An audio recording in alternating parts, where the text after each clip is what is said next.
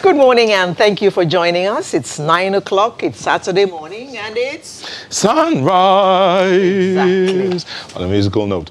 I'm Neo Taigbe, and that is Alero. Just in case you forgot. No, no, no, we did. Alero. What, what do you mean, just in case you forgot? Is there a chance that anybody could forget your name? well, some, some people have seen me and said to me, well, we don't really hear when you say your name. Oh. So, okay, my name is Alero Edu. Okay, so my name is Neota Egbe. That, that makes it better. Yes. So, I mean, nobody can say they didn't hear today But even, even, even if you don't hear the name being said, I, I think they usually put the name on the screen. on the screen. So, Well, so you can learn the. No, no, no, no, no. Well, They're paying attention to what is being said, not watching what is on the screen. Ah, yeah, yeah, yeah. That's true. That's true. That's true. But talking about what's on the screen, this week was a, a little bit um, beautiful. You know why? The, the, Mm-hmm. The rains. Ah, you do read minds now, don't The you? rains. Oh my God, it was so beautiful. It was soothing. Oh, thank you, Lord. Thank you, Lord. And it was looking like it was going to drizzle again this morning. Mm. And I was praying, oh Lord, let it come down, let it come down, you know. No, no. People still have things to do, and a lot of people are celebrating women. They're Are celebrating you saying that be- because it rains, you can't do the things hold you want to do? Hold Don't you eat when it Just rains? Hold your horses. Hold on. Okay. It's uh, Women's Day. We're celebrating Tomorrow. women. So the entire week is all about you guys. Thank so you. allow us to celebrate. I take you. a bow on If behalf rain- of women all over the world. If the rains come down, we won't have time enough to celebrate you. There are all manner of women meetings all over. There's uh, leaders, ladies breaking boundaries happening in uh, on Deko, I think. There are all manner of meetings to celebrate women. I mean, my, my head is about to burst. But it's true, you guys deserve to be celebrated. Thank you do very awesome much. Things. Thank Our you. producer, uh, I won't call her name. She does awesome things. She's talking to me right now. Thank you very much. Oh, well it's it's good Well to be appreciated. It's nice that the men actually appreciate us on the things just- that we're doing. Can I just beg you to please intercede on my behalf? I'm being threatened. well, hey, Well, you, all week, all we heard about was coronavirus. No, no, no, but we need to leave that, leave that for a moment and Oh. celebrate the women in our lives, our mothers, our sisters, our daughters. You guys are awesome. I mean, we may not say it all the time, but the truth is, sometimes I ask the question, what would it be like if we were all men on this earth? Oh, I saw a video. Some lady went and spoke to somebody, some high-flying woman who runs a corporation, and uh, she said she wasn't in a, it wasn't one of her best days, and she just cried and cried and cried, and then at the end of the meeting, she just adjusted her jacket, stood up, and went and faced business. Business goes on. Let's forget about all that, you know. Just- Can a man ever do that? Yeah, we will tell you that we can, uh, but the truth is, you guys spice up our lives a great deal.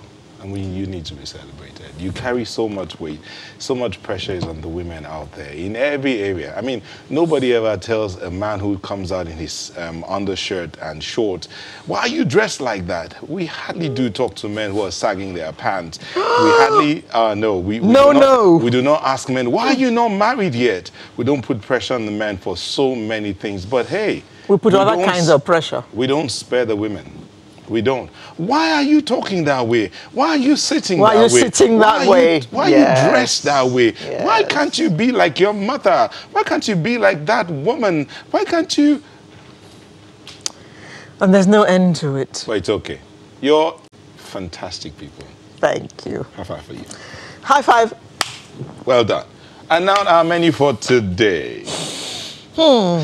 So we are going to start out with a look at um, electoral reforms. Okay. That's very apt. Yeah. Because of the. Uh, a lot of things are happening. People are already talking 2023. INEC actually had a, a retreat, and we'll talk about that. okay. Uh, we're going to be chatting with the Minister for State for Health. I mean, that's very apt as well. Mm. You know, Lassa fever, coronavirus. Saviour's virus. Mm. We need to be healthy You know, somehow. all the viruses. Then, as expected, the International Women's Day is tomorrow, but we will talk about it a bit. And then we have social studies. What is the difference between equity and equality? special Seems focus, kind of obvious. Special focus, it's not that obvious, on women in nation building. So Hmm. you need to listen to that lecture today. Okay. Then we'll go on to look at you and living. And today it's about communication. How many marriages have broken down because there was no communication It's between? just- Yeah, that's one. Mm. Then, of course, parents and children. I mean, anybody you're interacting with, you should be able to communicate. Ah. Yes, and then the artist of the week. Today is a full is a fuller package than it was. It's usually a full package, but today is especially fuller. Well, we have to squeeze all of that in within the three odd hours that we have. So on this first like to- Saturday in March. Uh, to encourage you to make yourself comfortable. Cup of tea, cup of coffee, water. Just be comfortable. But our Twitter handles will be on the screen. Be a part of the conversation. Let's have fun and learn today. Back in a moment. Just stay with us. Welcome back. Now let's start the show in earnest, and we're going to focus on electoral reforms. A few weeks ago, members of some civil society organizations in Abuja um, came together and organized a protest and asked the National Assembly to prioritize electoral reforms in order to avoid the situation with the 2019 elections, where a number of elections were overturned by the judiciary. and also recently, INEC had their own retreats, both internal and external, to look at electoral reforms. So, what exactly is wrong with our electoral act that we're needing? So, we've, there, a few amendments have been made, but more are being looked at in light of what is going on in our nation today. Well, we have the National Commissioner and Chairman of Information and Voter Education Committee at the INEC, Mr. Festus Okoye, with us this morning. Good morning, Thank you.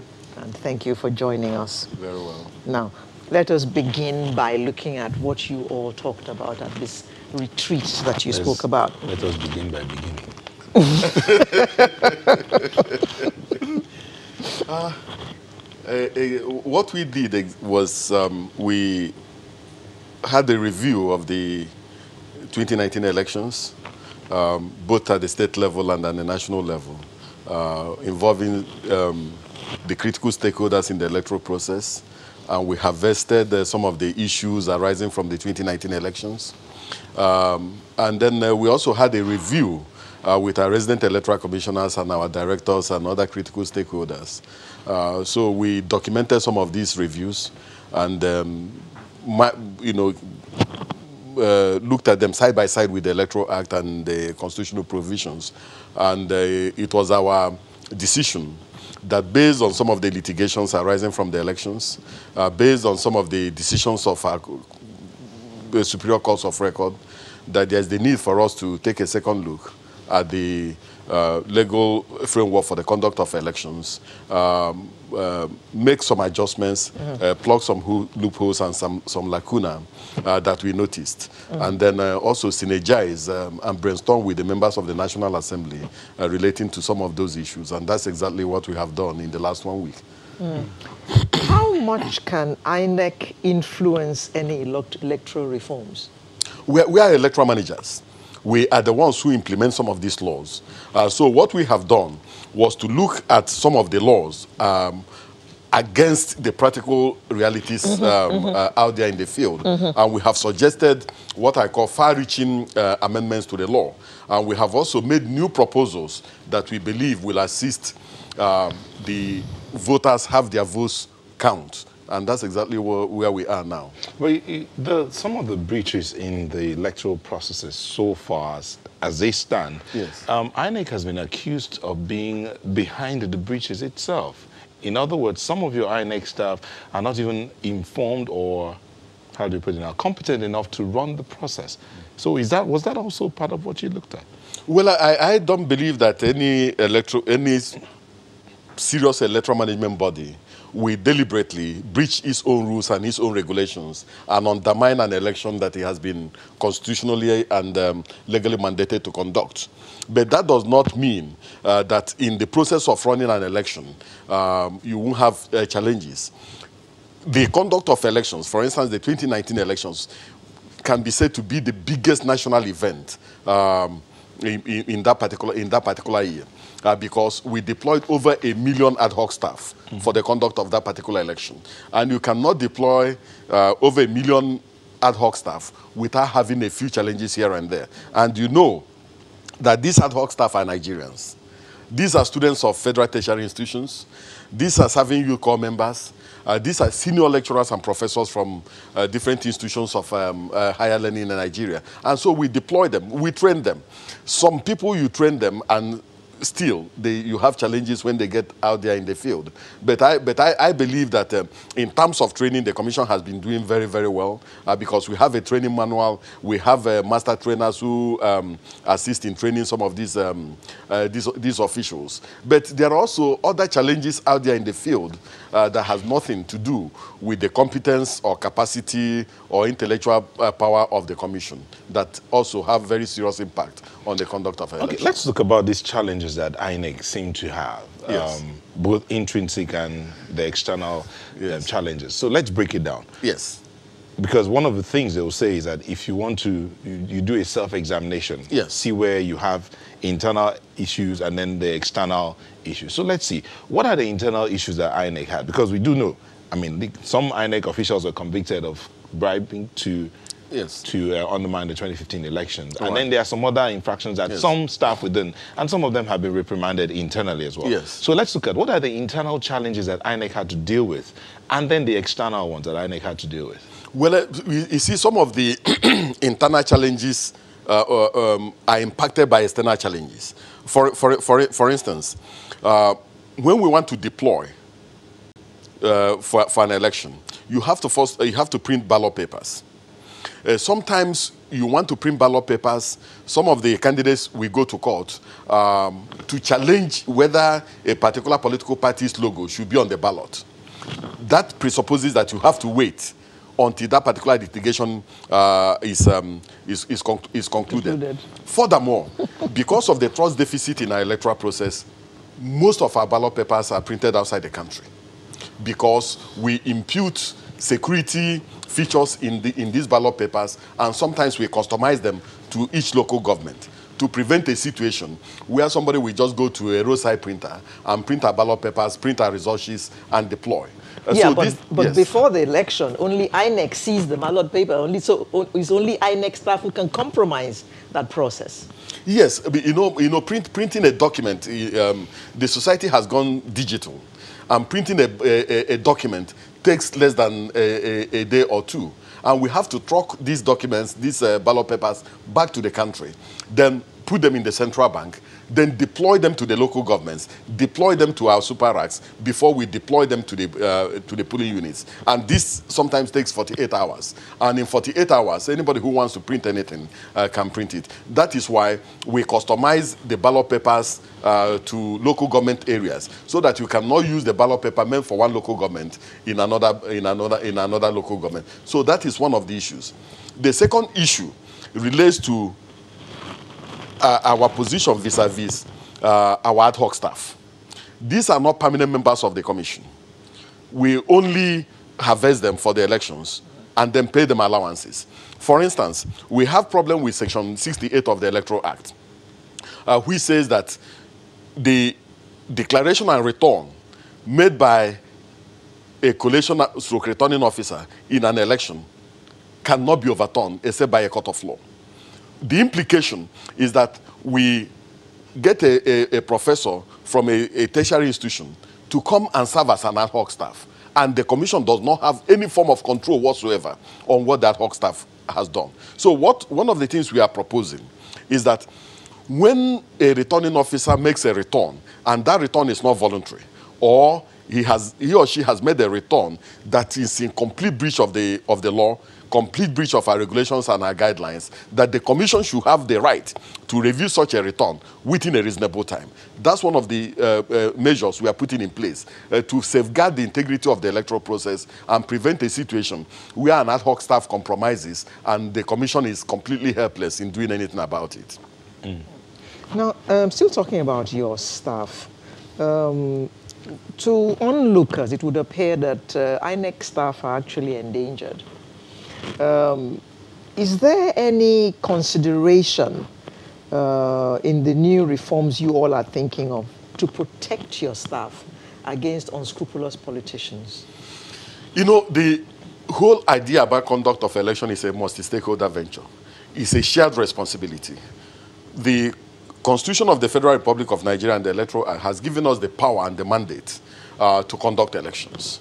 While the issue of maintaining law and order and protecting the electoral environment mm -hmm. and making the electoral environment conducive for uh, voters mm. is completely outside the purview of the commission. Yeah. So what we have done was to establish what we call an interagency consultative committee on election security, made up of most of the security uh, agencies. agencies, for us to constantly meet and look at ways and means of having better deployment and better protection for election materials mm. and election um, and, and, election workers. Mm. But I can tell you that so many of the ad hoc staff we deploy face unimaginable danger.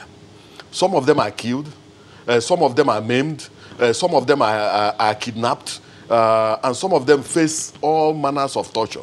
In fact, we had a situation where some of them were almost left on the high seas, you know, you know, because of the conduct of elections. So we are saying that we are approaching a situation where the leadership of the National Youth Service Corps will refuse to release corps members for use in, in any election. we also had a situation where we uh, trained almost 500 um, uh, uh, professors and, um, and senior lecturers from a federal tertiary institution who are going to serve as collation officers and returning officers. And uh, half of them, after training, declined because of what they call the volatile nature of the state we are supposed to deploy them to.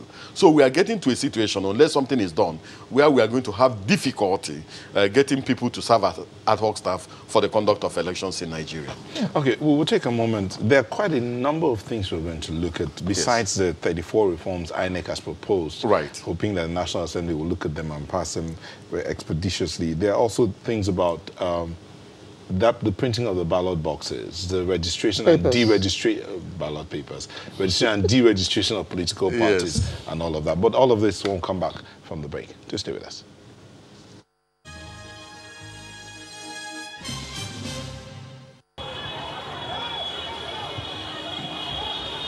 Year in, year out, time and time again, Nigeria's election problems persist as though there are no solutions.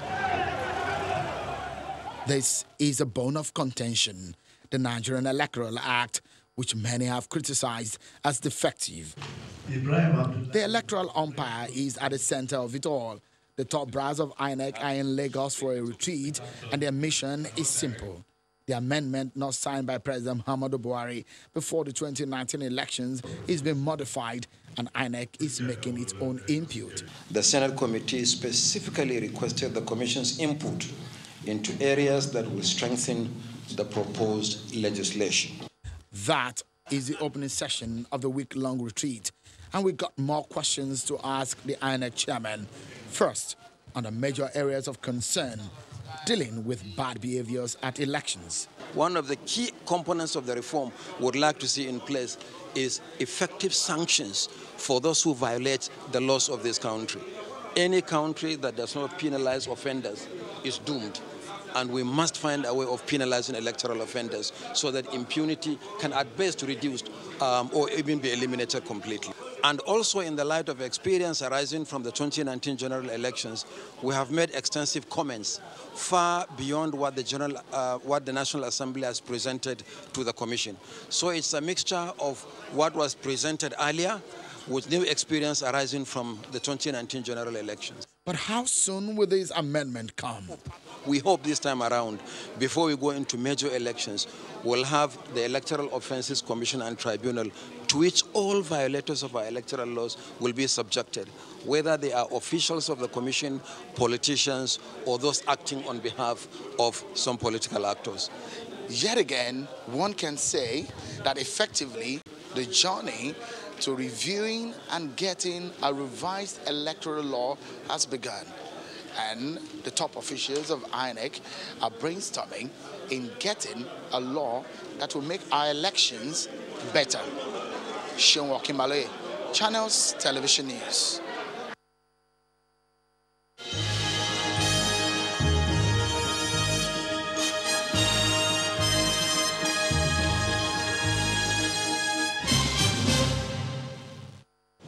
Thank you for staying with us. We still have the INEC commissioner here in the studio, and we're looking at the electoral reforms. INEC has proposed about 34 reforms to the National Assembly, hoping that NASS would look at them and buy them and then cause the reforms to take effect almost immediately. But there are a lot of people who are already sending, sending in messages asking the National Assembly to look into that. But Mr. Okoye, um, the laws that set up INEC are quite robust. But apparently, INEC is not carrying its full weight or its full capacity based on the laws that set it up. True or false? Oh, no, I, I think that um, we try as much as possible to operate within the confines and ambit of the constitutional provision setting up INEC and all the laws uh, relating to our procedures and our processes. Um, we have not never gone overboard uh, we try to remain within the, the purview of the law uh, because um, since we are a, a, body set up constitutionally, we are also required uh, to uh, obey the constitution and have some level of fidelity to the constitution. maybe is that uh, trying, the operational phrase they're being okay. trying to, maybe is that trying to stay within the ambit of the, of the laws that set you up that's yes. the problem.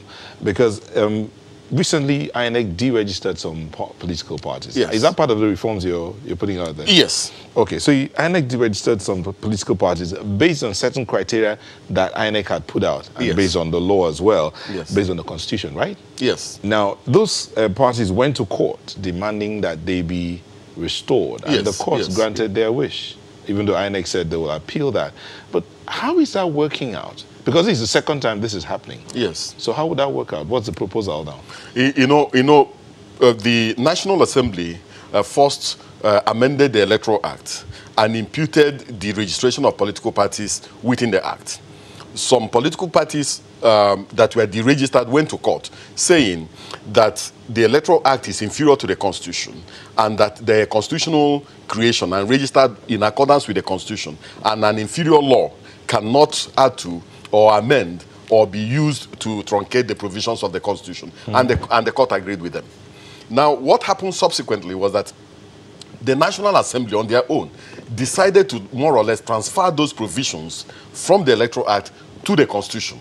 And that's why we have Section uh, 225A of the Constitution now dealing with the issue of um, uh, the registration of uh, uh political parties.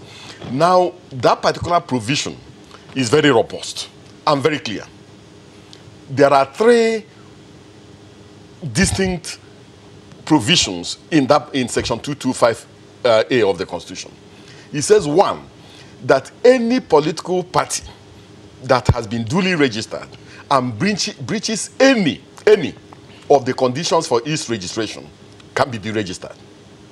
In other words, can be deregistered by whom? By because the I, I, I know that this this last time they said yes. the commission did not have the power to, dereg- to deregister no, them. The, the constitution is clear. The constitution clearly and unambiguously gave the commission the power to register any political party mm-hmm. that breaches any of the conditions for its registration. And part of that condition is that you must continue at all times to maintain a registered physical and verifiable office, office in the Federal Capital Territory. So the moment we go to where you said is your office and we now find out that it's a business center or we find out that you are no longer there, you are a candidate for the registration. If the membership of your National Executive Committee falls below two-thirds of all the states of the Federation, you are a candidate for the registration. So that one is completely different. Or if you also refuse to present yourself for verification, mm -hmm. and we'll come for verification and we find out that you are on the run, because you no longer maintain an office or you no longer have physical structures, you are a candidate for the registration. The constitution also says that you, as a political party, you must sponsor candidates for election. And that you must win a certain threshold in a presidential election or in a governorship election, or you must win a, at least a, a member, you must um, win at least a seat in the National Assembly mm. or in the State Assembly and so on. Mm. If you don't win, we deregister you. So the 74 political parties we regi deregistered are the 74 political parties that failed to meet all these constitutional thresholds. And we, as a regulator, as an electoral management body, mm. are constitutionally empowered to deregister political parties that don't meet that particular threshold. And that is exactly what we have done. But the court says that you can't do that. No, no court, no court as of today, no court as of today has said the commission cannot do that. And you see what some of the political parties... What, did, what did that court uh, say? I, I, will tell you, I will mm. tell you. What they tried to do was to preempt the commission. The matter that these uh, political parties filed, they filed it in April 2019. The moment we started, we wrote to them that we are coming for verification. They anticipated that we were setting in motion the process of the registration. And they rushed to court to go and ask the court to interpret whether the commission has the power to, uh, uh, um, uh, to deregister them under section 225A. They also went to court to say that they cannot be registered because the 2019 general elections um, was not free and fair, and that it, if it was free and fair, that they would have won seats in the election. But some of them didn't even field candidates. That is the point. You didn't field candidates. You are busy running up and down trying to look for somebody else to support. Mm. When you apply for registration on the basis of the fact that you are going to sponsor candidates. So that's part of the issue. So they went to court to go and preempt, preempt the, uh, preempt the, um, the, commission. the commission from carrying out its constitutionally uh, uh, assigned mandate. But, and we said, no, you can't but, do that. Okay, talking about breaching of um, mandates or breaching of laws that set you up, mm. shouldn't the commission also be sanctioned? I mean, when was the last time the commission audited any political party and published that. Because hold on, the, the law amongst the functions of INEC says here that arrange for the annual examination and auditing of the funds and accounts of political parties and publish a report on such examination and audit for public information. Yes, that's exactly what we do. The, when the, last was that done? In fact, in fact, we have just completed the last one. But you haven't published it yet? No, we, we, what we do is that when we complete, one, we forward to, to the National Assembly. Mm -hmm. uh, and then we sometimes we publish on our website. But you see, sometimes you go to these political parties, you want to, they say, oh, please give us more time. We are not ready. Give us more time. We are not, we are not, we are, we are, we are not, we are not ready. And we don't just want to breathe down their neck as if um, uh, uh, just because we're a regulator. Mm. So sometimes we give them a room, we give them some window mm. for them to tidy up their processes and their and their procedures. Okay. But we have a very robust way of auditing uh, the account of political parties and making sure that they do what is right. Mm. Is there any political party who didn't have anything to be audited, for instance? Uh, because some of these small ones that you deregistered, yes. one would assume that they would not have all the documentation that you require to have your job done. Some of them resisted verification. So there was nothing for us to audit. Uh, some of them, we went and found out that the, their registered office has been, is now a business center and they are nowhere to be found there, for us, there was nothing to to to to, uh, to audit. Mm. So that's part of the challenge um, challenge we have. And we believe in the commission, we don't have any issue with multi-party democracy. And we believe that Nigeria and Nigerians have accepted multi-party democracy. And that's what why we are saying section 221 to 221, 222 go, going forward gives the commission, gives any political association that meets the threshold the permission to come and apply for registration. Mm. And the moment you meet that particular threshold, we register you. But part of the reform uh, we are embedding, we have embedded in the Electoral Act is that some of the political parties complained that they didn't have time to settle down, they didn't have time to put uh, structures in place, and they didn't have time to campaign for election. So we are now saying, if you want to, as a political association, you want to come in, you must apply 12 months before a general election. Hmm. Okay. So you don't have that excuse anymore. Yes, you don't have that excuse Mr. Okoye, anymore. there's there's really no time. So, but we have we need to ask you this question. Yes. The um, the last the two governorship elections that were overturned by the Supreme Court. Yes. Um, particularly Bayelsa elections, for yes. instance, the question of documentation um, of the former deputy governor elect. Yes. That was um, that was removed. How much of verification does INEC do to, to, in this in this area? Because part of your job includes monitoring of party primaries. Yes. But you also do screening of the candidates that they send in, don't you? No, it, let, let us put this in, context. Section 187 says that the governorship candidate and the deputy governorship candidate are one. They're Siamese twins, they cannot be separated, they win together, they die together, they fall together, they enter the ocean together, and that nobody can separate them before election. Because whatever applies to the governor applies to the deputy governor. Mm-hmm. So nobody can escape. Yeah. They are bound together by fate. Secondly, the law says that the moment a political party has nominated these candidates, that our obligation as an electoral management body is to publish that information mm-hmm. in, in, um, in the constituency where the candidate intends to mm. contest. And that any person who has any information relating to the document submitted or to the affidavit can go to court seeking for a court order disqualifying the candidate from contesting the election. That's and that's exactly to, what that what was done. And that is where we have to leave it because we've run completely out of time. Thank you very much, Mr. Festus Okoye, National Commissioner and Chairman of Information and Voter Education Committee. Thank you very much for coming to enlighten us this morning. Thank you for having me. Sunrise will return with another interesting conversation in just a moment. Do join us.